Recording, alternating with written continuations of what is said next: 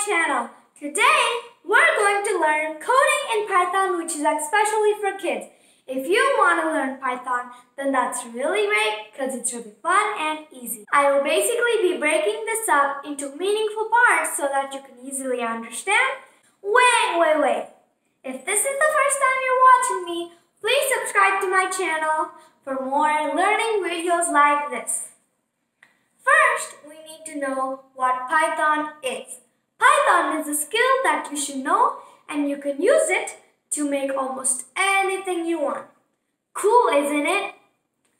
And coding is a language that basically translates human ideas into something the computer can understand. There are so many coding languages other than Python, like Java, C++, and etc. etc. So now let's start installing Python on Windows. Step 1 is to open Google Chrome. Step 2 is write https colon slash slash www dot python dot org and a slash. Now, when you're on the website, press Download Python 3.9.1. Here you can see that set which is downloading. Now you see Install Now, Customize Installation. Press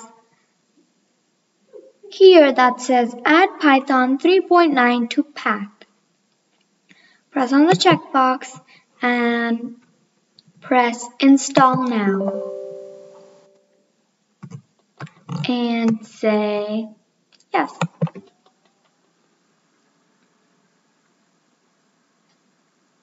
Here it's loading. When done loading, press close. Now, go to your search bar and press idle. Here there's an app. Now you have successfully installed Python on Windows. First, let's talk to the computer by saying, Hi Python. Print print.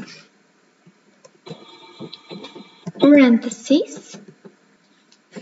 And quotation marks. Say hi python. And quotation marks again. Close parentheses. Click enter there we go. I hope you like this video. In part 2, we will learn to code in idle and learn some basic commands. Please subscribe to my channel. Bye!